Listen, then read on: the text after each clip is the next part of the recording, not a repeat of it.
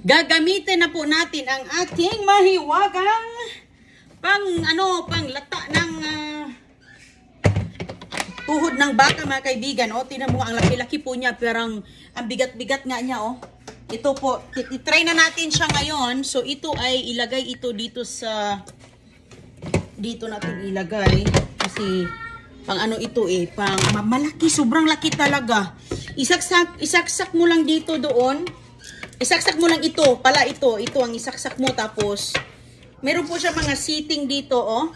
Pag masaksak mo na, so ang gagawin ko is pressure cooker. So siguro, pang sabaw lang ito mga kaibigan, pwede mo, hala, meron pa pala dito mga ano oh. So hindi pa natin ito, ano, use only instant pot prolid, lalalala. Mhm. Maraming mga ganitong mga papel-papel dito sa loob. Hindi pa talaga ito nagamit kasi nga kabibili lang ni Inday para sa kanyang sarili. Ito talaga yung regalo ko sa aking sarili para naman hindi ako masyadong mahirapan dito sa kusina. Kasi pag mayroon akong party dito sa bahay, ang ano ko na ngayon is palagi na ako magsinabaw. Sabaw na mga kaibigan. Kasi nga, nagpapataba, o nagpapapayat po tayo. Nabaliktad na. So, nagpapayat po si Inday. Kaya kailangan tayo magsabaw-sabaw muna ngayon. Ayan, back to the malunggay. Wala na pong mga taba-tawa na mga kinakain. Mhm, ito, ang ano niya, ah, mga seating, ganyan po siya kalaki o, pang malakihan talaga ito. Dahil nga lagi tayong kumakain ng may sinabawan. So, ganyan po ang maganda, di ba?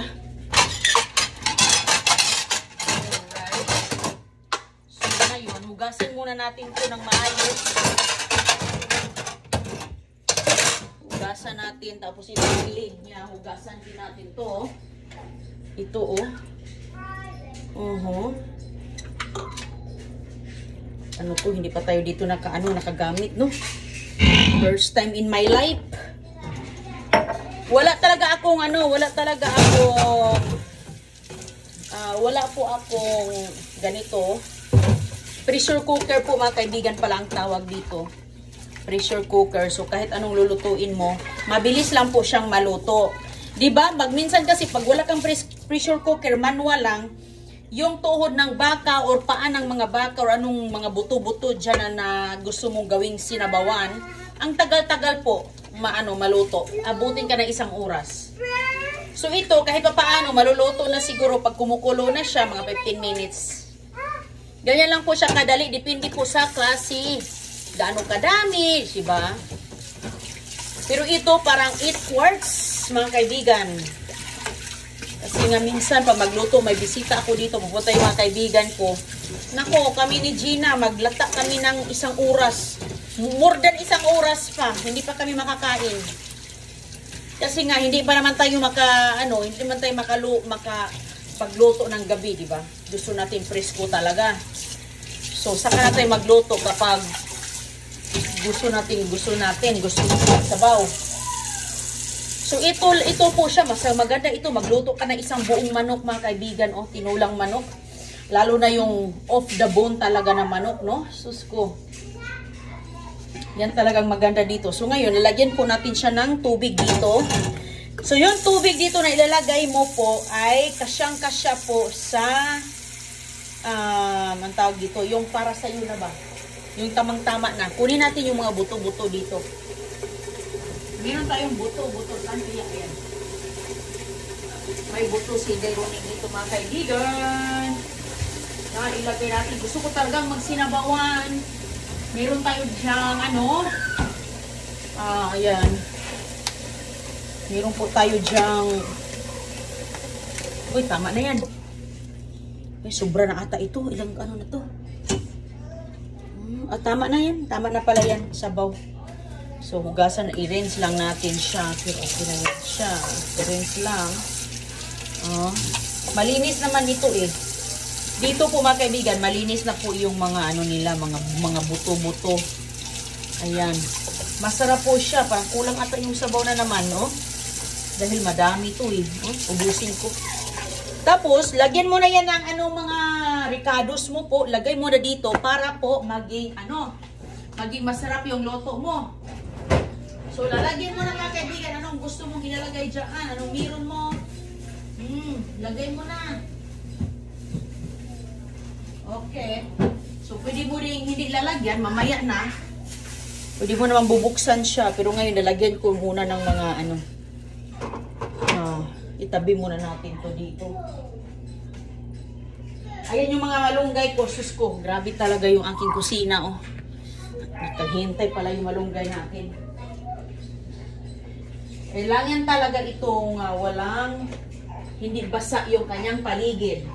Kailangan dry po mga kaibigan. Ala-alagaan natin para abutin ng sampung taon. Ako pa naman, pag may gamit pa naman ako, abutin pa naman ng mga taon-taon. Ayan. Kasi alagang-alaga talaga. Kahit nga, kahit ano, ano dyan, kahit gaan, sa mga damit, alagang-alaga talaga. Okay, so lagyan po natin ng ito muna. Sana yung luya ni Inday. Ito lang muna ang ilagay natin. Oh. Mhm. Tapos luya.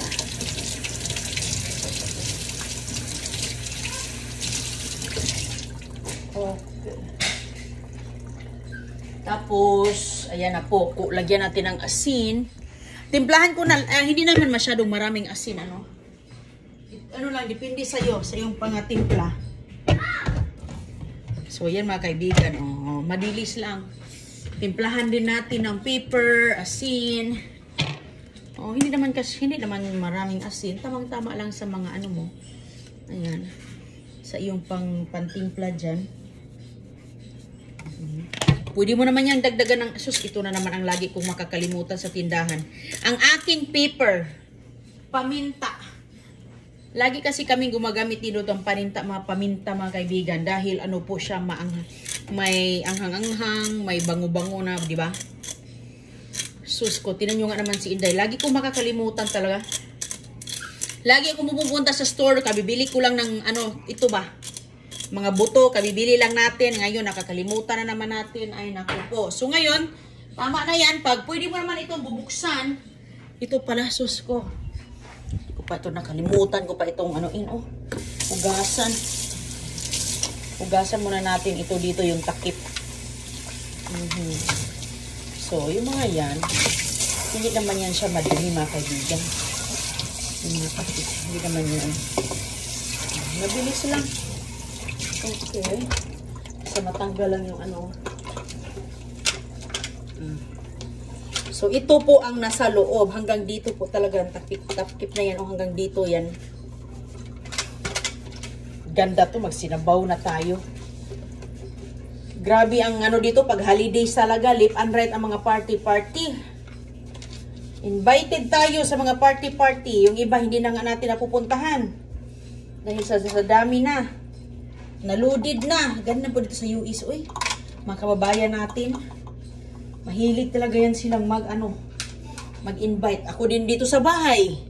Pag may panahon lang ako mga kaibigan, pag may time, maka ano tayo dito, makapag... So ngayon, saan na yung ano? Mhm. Ah. Okay, lock niya. Ayan. Dito kasi yung lock mga kaibigan. Ayan. So, close. Ganyan ang close niya. Kailangan talaga yung naka-close. Alright. So, kung open, ganyan. Open, close. Kailangan nating malaman ang mga paraan dito. Oh, bigat-bigat niya. Sobrang bigat talaga. Ano sa dambuhalang uh, pwede mo siyang lutuin. Mm. Mm, okay. Pwede mo siyang panglutuan ng okay, ayan na. Ito na ang ano challenge na hindi natin alam. Pwede mo siyang lutuan pa lang pressure cooker, rice, steam, saute, slow cook, sauce, yogurt, bake. Ah, pwede ka pala mag-baking dito ng pizza o tinapay. Gawa ka ng tinapay, pwede na siya. So, ngayon, pressure cook. Chicken, sterilized beef. Ayan, doon tayo sa beef.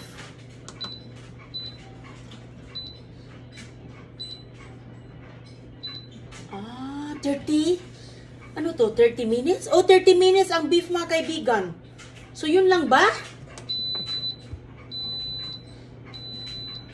Preheating. Preheating, cooking, and warm. Oh, ayan oh. Mm, First time natin dito, nilagay ko sa beef na seating. Tapos, ayan, pressure.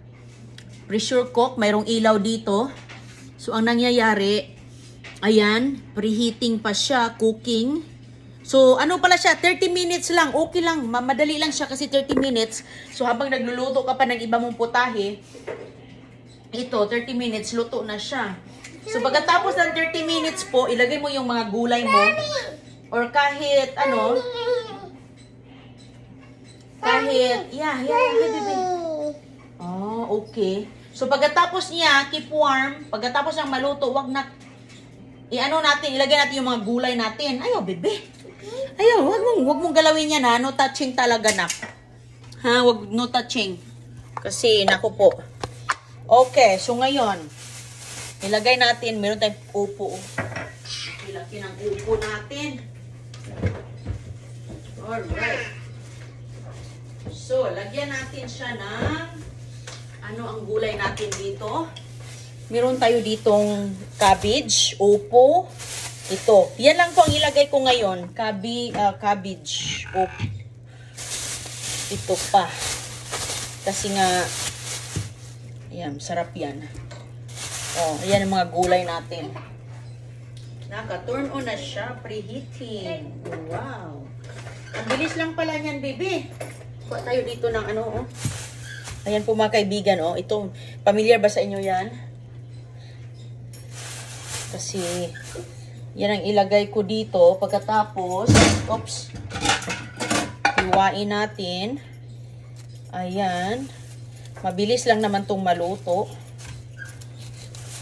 Ayan po. Hindi naman natin ito kailangang anuin ko lang to siya mga kaibigan yung ni manipis ba manipis na hiwa para mabilis maluto kasi minsan kasi pag hindi mabili pag hindi maano manipis magmatagal maluto to okay ayan so tingnan natin hindi ko pa naman yan na binabasa ang manual paano ang ano ba instruction ba sa pag-cooking ng ano ba? Pero I think ganyan siguro 'yan. Meron naman nagbibigay naman yan ng mga recipe. Meron po yung recipe na bigay. Kaso lang iba yung recipe, walang walang buto na recipe eh. Puro ano yung recipe diyan.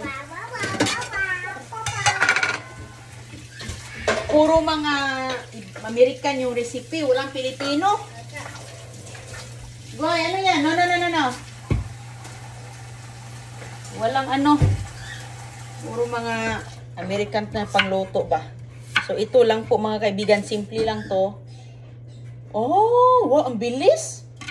Ang bilis niya mag-preheating. Naku po. Ano kaya yan? Kasi minsan kasi mag...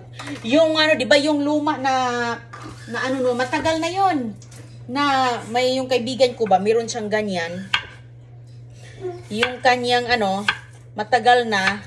Tapos, ang nangyayari po ay yung kanyang usok, tumutunog siya. O, ayan lang mga kaibigan, mabilis lang po siya, o. O, ganyan lang po. O, ang aking ano, hindi po siya gaano ka nipis. Hindi po ganyan ka, ano. Anong ginagawa ni Agoy Agoy? Lagyan natin ito, tapos mayroon po akong malunggay dito sa likuran. Kasi masarap po may malunggay. Ayan, meron tayong cabbage. Cabbage. Ito yung mga tira-tira bago sa Pasko pa to na mga cabbage. Matagal naman masira ang cabbage. Repolyo. So, anuin natin ang repolyo. Wala, eh, ano natin, hugasan muna natin. Hindi na tayo magkanin-kanin mga kaibigan. Tinan mo nga ang aking mga papaya, oh. Papaya, fresh from the garden. Ang saya ko talaga dito kasi nga, pag uwi namin, galing sa biyahe, mayroon pa akong naabutang repolyo. I mean, mga upo. Kasi mga kaibigan, pag alis namin dito, sobrang lamig po. Grabe. Grabe ka, sobrang lamig. So, wala ka namang magagawa kasi nga may, may storm ba? May storm sa kabilang state. Pati dito, napituhan. Kahit mainit sa Florida. So, ah, wala na kaming magawa niyan. Kaya, Sabi ko, ah, wala na yun. Kahit yung kamyas ko, wala na. Impas na yung kamyas ni Inday. Sana bibigyan pa ako ng kaibigan ko ng pantanim na kamyas. Sabi, ano in daw? Ano? Takpan ko daw yung kamyas ko. Ay, hindi ko naman matakpan. Wala ako dito. Tatakpan mo daw ng mga ano mo, kumot. Oo. Ay. Parang mahirap ata ito pa isa-isahin. Ayan po. oh. Tapos, mag-ano tayo ng...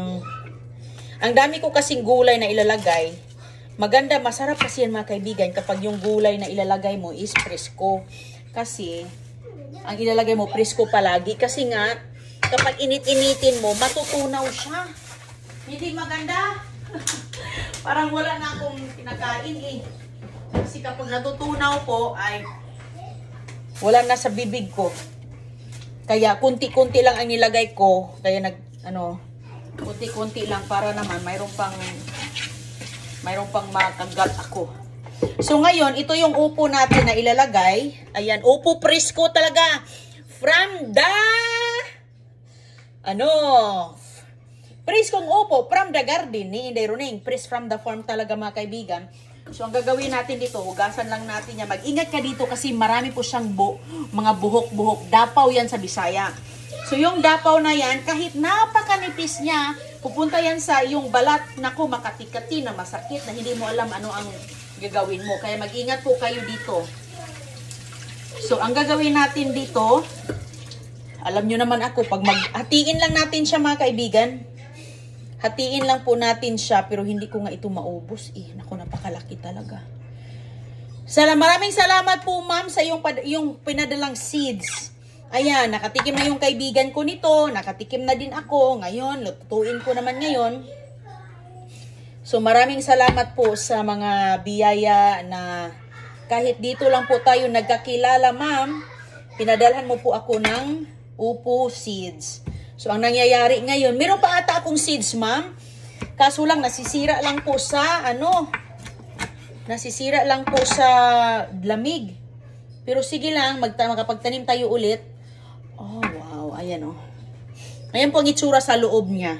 So, ang itsura po niya ay upo rin. Ganyan lang talaga ang kulay niya. I mean, ang, ang hugis. Pero upo pa rin yan. Mhm.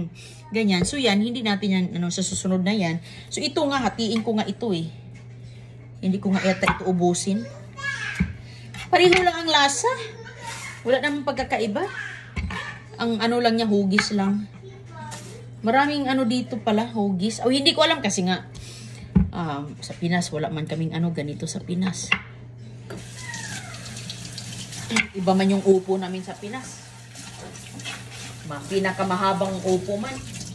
So, hindi ko na yan siya alam nyo naman ako magluto, hindi ko na yan siya binabalat-balatan. Kasi nasa balat ang sustansya.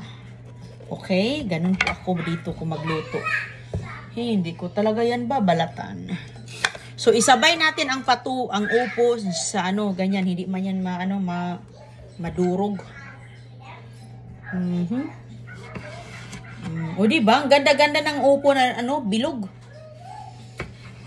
Hindi, kinuha ko na siya kasi hindi ko alam, pwede pa ata itong lumaki, no?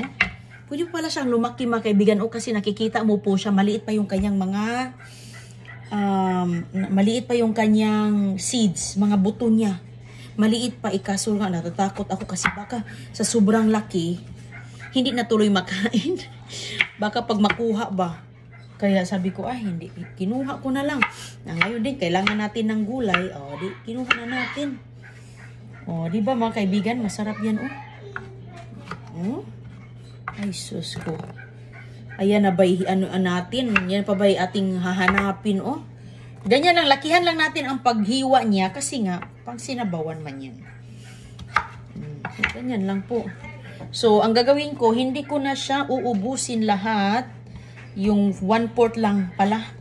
Ang gagawin natin dito kasi nga, ayan dami. So, nagtaka kayo, bakit hindi ko na yan binabalatan? Ganyan po si Inday Runing, hindi ko na binabalatan. Kahit kuan, kahit patula, hindi na. Hindi ko na yan binabalatan. Eh. nasa balat ang sustansya. So, ayan na yung gulay natin. Marami na tayong gulay, hindi na natin ubusin ang nandito pa. Ilagay ko na lang ito sa plastic. Ayan. So, ngayon po mga kaibigan, dito po tayo sa ating papaya na sobrang dami. Ayan, papaya ni Inday. Kinakain po ng ibon. Nako. So, yan na area na yan. Kailangan ko yung anuin. Kailangan ko yan siyang kukunin. So, habang naghihintay po tayo dito, naghihintay. Hi! Hi, Christiana! Okay. Okay, picture picture? Hi! Kumusta? So, ngayon, oh, kuha lang muna ako ng ano dito, lalagay natin. Mm, ito. Dami na. Ito pa. Meron pa pala tayong malunggay dito. Sus, iano ko lang itong malunggay, ha? Anuin ko lang muna. Kanina lang itong kinuha namin. Sabi ko doon, dito na tayo sa labas, kukuha na lang tayo. Alright. Kuha ko ng ano dito. Mhm. Plato. Ang ganda talaga ng ating oh, ano, patul, upo. Dito ko lang talaga ano gagawin pala kasi nga masikip na dyan. Tingnan natin ang ating pressure cooker. Nakauna po siya. Ano to? Hmm. Ayan. So, preheating pa mga kaibigan. So, sabi dito, 30 minutes daw. 30 minutes na ba? Parang wala pa ata. Oh, hindi ko alam. 30 minutes daw. O, sige po. Maghimay muna si Inday ng malunggay. Kita na lang po tayo mamaya. Maraming salamat sa panonood sa aming vlogs. Parang ano dito mga kaibigan, malamig, ano na, madilim na sa labas. Ang bilis dumilim. Pag ano po dito sa Florida, pag winter pa, ang bilis talagang madilim. Pag winter. Pero pag summer yan, ako, alas 9, ang ano pa yung araw. Alas 8 ng gabi, alas 8 ng gabi, ah, maaraw pa. Okay po, bye-bye!